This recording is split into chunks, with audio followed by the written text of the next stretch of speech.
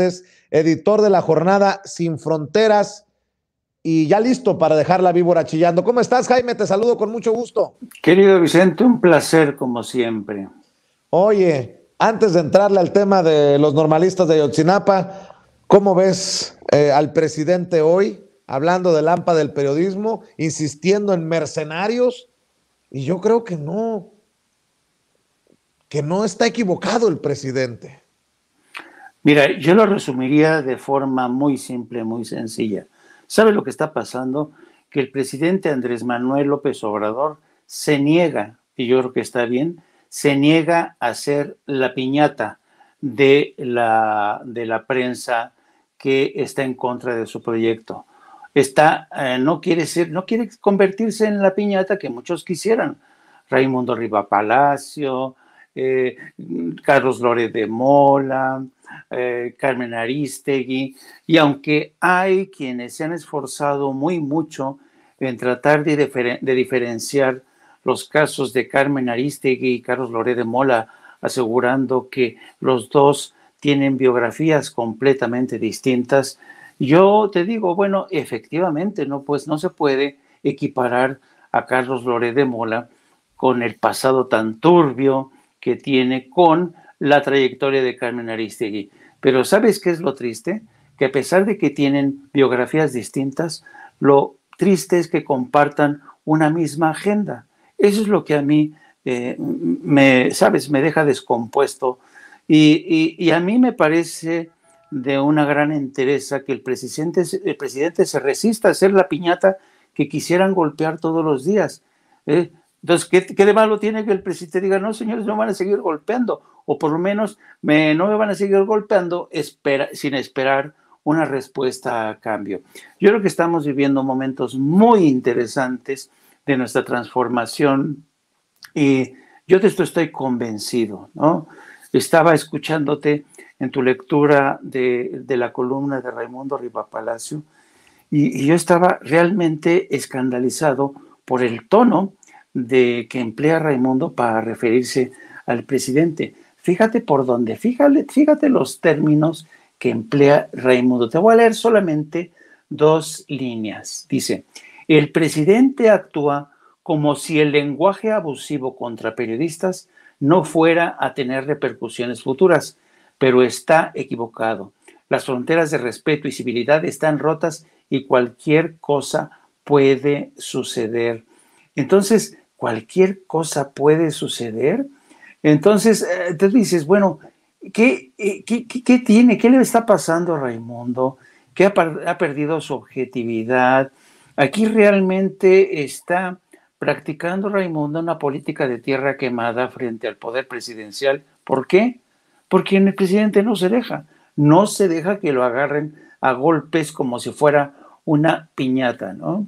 Entonces, yo creo que Fíjate, aquí hay otra, otra, fíjate, dice, por la cabeza de López Obrador queremos pensar, no cruza el deseo que muera un periodista. Ah, gracias, Raimundo, por concederle que no hay una mala intención del presidente, pero acto seguido dice, pero la forma como se expresa de varios comunicadores e intelectuales con su creciente sevicia oral, con su creciente sevicia oral, yo no sé si nuestros tus seguidores sabrán lo que es sevicia. Sevicia es una palabra que denota extrema crueldad. El este, Raimundo está acusando al presidente de extrema crueldad, ¿no? Cuando tú dices extrema crueldad, la del presidente cuando se defiende, ¿es en serio, Raimundo? Entonces, yo creo que evidentemente esta columna de Raimundo es para la antología, es para la antología de aquellos que antes estaban acostumbrados que el jefe de Estado, el alcalde, el líder del partido, aceptara sin rechistar que lo agarraran a madrazos, que lo agarraran a periodicazos sin protestar. Pero no, no se han dado cuenta que ha llegado un presidente que, desde mi punto de vista, llegó para meter a muchos en esa hoguera de las vanidades, ¿eh? en esa hoguera de los periodistas que se han autoproclamado, autoconsagrado o consagrado durante los gobiernos del PRI y el PAN. Entonces, yo francamente creo que ahora sí eh, Raimundo y muchos de los colegas están haciendo de un vaso de agua una tormenta perfecta, acusando al presidente de ejercer una sevicia oral. ¿Cómo es posible, no? Que el presidente hable mal de Carmen Aristegui y de eh, señor Loret de Mola, ¿no? Pero fíjate por dónde, esto no sé por qué, Vicente, esto me recuerda muchísimo para los amantes de la historia, el presidente es un gran amante de la historia. En el siglo XV hubo un monje dominico que se llamaba eh, Girolamo eh, Savonarola. Savonarola fue un monje dominico muy culto, muy respetado, que llegó en, la Florencia de aquel siglo para combatir los excesos, las corruptelas de los Medici, ¿no? Entonces llega, entra este eh, Savonarola, combate, quitan a los Medici del poder, pero con el tiempo los Medici nunca se lo perdonaron. Y cuando termina y el pueblo abandona a Savonarola, lo deja sin el poder, los Medici toman venganza, ejecutan, cuelgan en, a Savonarola por haberlos atacado, por sus abusos, por su corrupción, por sus excesos, ejecutan a, a Savonarola y lo queman en leña viva, ¿no? Entonces, qué bueno que el presidente, cuando le dijeron, oiga, pero este, hay por ahí quien dice que no hay, no hay cuidado, presidente, que ya, no, decían los entre cuates, ya se va. Lo bueno es que ya se van. Y el presidente dice, pues no se crean, no va a ser tan fácil, porque el pueblo sabe ahora quién les miente, quién les sigue metiendo el dedo en la boca. Y a mí se me hace que esta es una lección formidable del presidente. Y yo creo que no tendríamos que espantarnos, Vicente, de este tipo de debates entre el presidente y medios de comunicación o periodistas renombrados. Algunos dicen, no, es que hay una tremenda asimetría del poder entre el poder presidencial y el poder de algunos periodistas. Sí, chucha. Y cuando Joaquín López Dóriga tronaba los dedos durante el PAN o el PRI y le arrimaban a los funcionarios que quisieran su noticiero para entrevistarlos, y cuando Carmen Aristegui tronaba los dedos para entrevistar a quien se le pega la gana, entonces también han tenido un poder tremendo, no igual, pero bastante parecido en términos mediáticos al poder presidencial. Lo que pasa es que no les gusta que ahora desde el púlpito presidencial les digan sus verdades. Eso les incomoda terriblemente, insisto. El presidente no va a ser, nunca, ni, que lo esperen, no va a convertirse en la piñata que ellos quisieran. Bueno, yo lo único que puedo decir, eh, Jaime, es que me siento muy avergonzado, y grábenme muchachos, me siento muy avergonzado, tú sabes que te respeto, te admiro. Yo creo que voy a cerrar sin censura luego de la columna que publicó Ricardo Rafael, en la que me compara con Gabriel Cuadri y Roberto Palazuelos. Eh, dice que Gabriel Cuadri, Roberto Palazuelos y Vicente Serrano se parecen mucho entre sí, que hacen inferencias falsas, fabrican suposiciones y tuercen la realidad sin embargo, cuentan con una abultada cantidad de seguidores porque somos los promotores de la hiperpolítica. Eh, no, es que me, dan todavía, y nótese mi sarcasmo, obviamente, que vas a andar cerrando sin censura si les arde el, el culichi por todo lo que decimos aquí a personajes como Ricardo Rafael, pues si hay mercenarios, cabrón. O sea, esto es ser un mercenario. O sea, dice que yo cobro y vivo como rey, entre otras cosas. E, estoy de acuerdo en que soy un pinche majadero, un mal hablado, que miento madres, pero que cobro y vivo como rey. Pero sueltan estos escupitajos venenosos, pero no son capaces de mostrar un documento que sustente sus dichos. ¿Dónde cobro como rey? ¿Sabe él cómo vivo y en dónde vivo? No. O sea, eh, ahora yo me pregunto, Ricardo Rafael, peoncito de, quién? ¿O de qué? ¿O por qué? ¿Qué, qué tan... Ya ves, eso es lo que pasa cuando te juntas conmigo, Jaime. Ahora resulta que somos tan importantes que nos merecemos ser tomados en cuenta en una columna del, del gran maestro del periodismo, Ricardo Rafael de la Madrid. Oye, entonces los 500 dólares que me pagas por colaboración no vienen, no vienen de la 4T. ¿A qué, ¿A qué le tiras cuando sueñas mexicano? Oye, nada más, nada más aclara, cabrón, porque luego, luego van a decir los de la mesa de diálogo, oye, le pagan 500. No, no, no, no, no, no, no, no es cierto.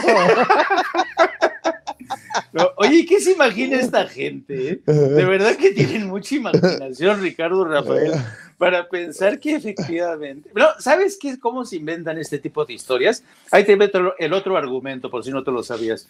Empiezan a decir, bueno, ¿cómo es posible que proyectos como el de Sin Censura tengan tanto éxito? Ah, ya sabemos por qué. Por la polarización. La polarización es lo que los ha hecho famosos. Si no hubiera polarización, no tendrían a estos engendros youtubers, ¿no? Pero, ¿sabes qué? Lo que pasa es que nuestra gente es tan inteligente, tiene un sentido común, de verdad. Y mira, yo creo que el momento de transición eh, que estamos pasando, el momento que estamos viviendo de la 4T, yo ya decía que es como cuando pasas bajo la sombra de un árbol quien pasa bajo la sombra de un árbol no lo hace de forma inerme. Algo te queda, algo te queda. Y yo confío que esta época en la que te ha tocado a ti bregar como periodista independiente, que se ha, quedado en el imaginario colectivo de millones de mexicanos que hoy acuden, tocan a tus puertas para enterarse de la información. Y sabes que también hay una cosa, eh, es un hecho. ¿Quién es Ricardo Rafael? Digo, por Dios, eh, ¿Cuándo yo como periodista, como reportero, o tú como periodista o reportero, compartiste una guardia con Ricardo Rafael? ¿Cuándo? No, pues nunca. Nunca, o sea, ¿Tú? yo tampoco, o sea, nunca, nunca en mi vida. A lo, mejor, a lo mejor tú no lo recuerdas, pero andaba junto a Loretito allá en Afganistán.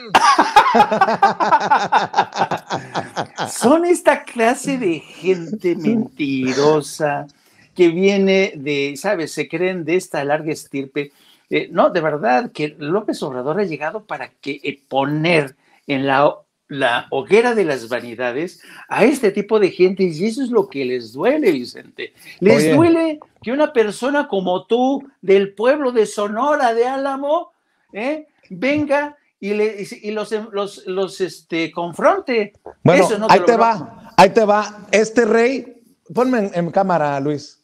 Este rey, para que vean, Pinche rey tan cabrón. Mire cómo conduce en sandalias, en sandalias y con calcetines. Para que puta madre, me pagan tanto que, que, conduzco el programa en sandalias y con calcetines, chingada madre. No, pero no, no somos iguales. Soy el presidente Andrés Manuel López Obrador, nada más para cerrar con esto, querido Jaime. El presidente dijo que lo que les duele es porque ya no hay sueldos de a millón. Aquellos sueldos, y no se burlen de mí, ya veo muchos en el, chat que se están burlando de mí. ¿Yo qué culpa tengo de estar transmitiendo en chanclas, vea?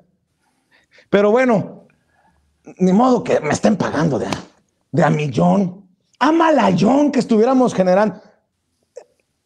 La inferencia que hace Ricardo Rafael es que como y, voy a buscar la mierda esta que, que publicó, porque la inferencia que hace Ricardo Rafael es que como soy un hombre descaradamente obsecuente con el poder, que finjo proximidad con el pueblo, pero esa, ese obsecuente, ese descaradamente obsecuente, que soy descaradamente obsecuente, es porque a mí me pagan como rey para vivir como rey. Pues ni que fuéramos los mismos, Ricardo Rafael. Yo sigo retándote a decirnos que nos aclares si son cuántos contratos que has recibido en los últimos años, ojo, del gobierno, para que veas que no somos iguales. Aquí no a la publicidad oficial, no al chayote, no al dinero de campañas políticas, no al dinero de candidatos, no al dinero de partidos para no ser tan hijos de puta como tú, hiperpendejo. Eh, el presidente habló de los sueldos de millón de pesos. Ya quisiera yo un hombre, pero vea y escuche lo que dijo el presidente hablando de estas cosas. Ni en sus mejores tiempos el periodista García Márquez llegó a cobrar eso.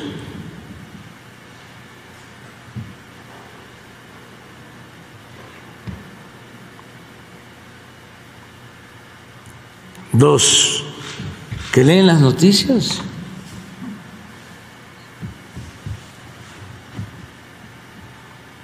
Y dicen, ah, pero es que a mí me pagan del sector privado. Sí, nada más que te pagan del sector privado. Ese dinero porque los jefes de tu medio hacen jugosos negocios al amparo del poder público. Eso es lo que dice el presidente Andrés Manuel López Obrador. Ricardo Rafael, pues tú en Canal 11 te has literalmente perpetuado, te has enquistado, cabrón. 24 contratos encontré como proveedor por alrededor de cinco y medio millones de pesos entre los años 2015 y 2021 y casi todos, casi todos, ahí está, casi todos por adjudicación directa. Así que el que cobra como rey y seguramente vive como rey eres tú, infiero, Ricardo Rafael. Nótese mi sarcasmo. Cuando quieras te invito, acá te recibo con mis chanclas, cabrón, mira, de rey, tu madre, güey. Perdóname, Jaime, perdóname, pero lo tenía que sacar nuevamente de mi ronco pecho. Oye, ahora sí, déjame plantearte este tema que está muy cabrón. Eh, el presidente Andrés Manuel López Obrador se refirió a este incidente en el que se lanza, literalmente se lanza un tráiler, un camión pesado sin conductor contra una eh, caseta de cobro. Eh, le pide eh, diálogo a los jóvenes normalistas de Ayotzinapa y les advierte que podrían estar infiltrados por miembros del crimen organizado. Aguas con eso. Mi querido Jaime, hablemos de este tema que también está muy cabrón. Sí, mira, yo creo que por primera vez estamos asistiendo quizá a uno de los más difíciles dilemas que enfrenta el presidente de México eh, porque tú sabes que eh, criticar a las escuelas rurales, eh, criticar al movimiento de estos jóvenes normalistas, luego resulta contraproducente, sobre todo entre aquellos sectores de izquierda que siguen defendiendo el proyecto de las escuelas rurales que nacieron bajo la presidencia de don Lázaro Cárdenas, ¿no? Entonces, criticar para, a estas escuelas normales como los como la que, de la que salieron estos chicos de Yotzinapa eh, con, un resultado atroz, quizá uno de los episodios más tristes y más vergonzosos de la democracia en México. Pero criticar a estas escuelas rurales se ha convertido en una especie de tabú. No te puedes meter con estas escuelas rurales. ¿Y por qué? Porque existe en la izquierda mexicana el convencimiento de que si te atacas a estos, eres un conservador. Pero por otro lado, el presidente tiene otro problema. No puede quedarse de brazos cruzados ante incidentes como el que protagonizaron estos, estos muchachos que lanzaron un tráiler contra una caseta de cobro en la carretera de México Guerrero. Entonces, tienes un dilema en el que el presidente por primera vez se va a tener que mojar y va a tener que escoger, tiene que lidiar con un movimiento que efectivamente ha sido penetrado. Y, esto viene desde hace mucho tiempo. Yo recuerdo, Vicente, que uno de, hace todavía estaba este, Enrique Peña Nieto en la presidencia, y en una visita que yo realicé en privado a, los, a los Pinos, estaba Eduardo Sánchez todavía como portavoz, fue una conversación tete a tete con Eduardo Sánchez, y él me confesó que tenían serios problemas ahí porque no sabían cómo desbaratar esa trama de crimen organizado, intereses políticos, no sabían cómo hacerle. Y no lo hicieron. Tan no lo supieron hacer que miren el desastre en que terminó el tema de los 43 de Yotzinapa. Pero estamos hablando de la hora de la verdad ante una, una situación que ya rebasa la frontera de lo que está bien, lo que está mal, de lo que es la izquierda y la derecha. Y a veces la izquierda en México es un tanto renuente a discutir temas como estos, son como tabús, ¿no? Incluso si tú criticas a esto, la gente de la izquierda se te viene encima y te dice, no, no critiques a esto, ¿cómo es posible que tú eres progresista de la izquierda? ¿Cómo es posible que critiques esto? Digo, pero es que yo no trato de criticar a estos chavos que han caído en manos de un, movimiento de crimen organizado. Lo que se tiene que es esclarecer, esclarecer. Claro, la cuestión es cómo esclarecer, cómo extirpar este cáncer sin comprometer el organismo entero. Y ese es el dilema que, dilema que está enfrentando el presidente López Obrador. Yo la verdad es que le deseo toda la suerte del mundo, porque si no logra eh, sanitizar y eh, aclarar qué hay de todo, de todo esto, este tema se va, va a seguir ahí, va a seguir el presidente pateando el bote hacia futuro sin saber qué pasó y eso va a seguir dando problemas y molestias, sobre todo para la gente que utiliza esa ruta estratégica y el turismo nacional e internacional. Así es que yo creo que es un dilema de los más complicados que tiene ahora ante sí el presidente. Pues estaremos al pendiente, querido Jaime. ¿Por qué no cerramos invitando a la gente a tu canal de millón de dólares en YouTube, a tus redes sociales hiper chingonas, como diría Ricardo Rafael? Pues cómo no, ah, ¿sabes qué? Lo, cierto es que tú y a lo mejor yo también, no, yo me niego a formar parte de este despotismo ilustrado. ¿eh? como dices tú, no te sé ni sarcasmo, este despotismo ilustrado de Ricardo Rafael, de que él cree que forma parte de este despotismo ilustrado, que está por encima de nosotros, ¿no? Pero bueno, al margen de eso, este, que no se me considere parte de este despotismo ilustrado y les invito a que sigan nuestro canal de No Apto para Cínicos. Todos los días transmitimos de las 14 a las 15.30 y también que nos sigan a través de nuestras redes sociales, a través de mi cuenta de Twitter, arroba Jaime Yourno y a través de nuestra sección La Jornada Sin Fronteras del gran periódico La Jornada. Muchas gracias, don Vicente, y nos vemos mañana. Eh, Jaime, nada más para que quede claro. Mis chanclas no son Gucci. Y chancla que yo tiro, no la vuelvo a rejuntar. Mi querido Jaime, buenas tardes, buenas noches. Jaime Hernández, editor de la Jornada Sin Fronteras, hablando con nosotros sin censura.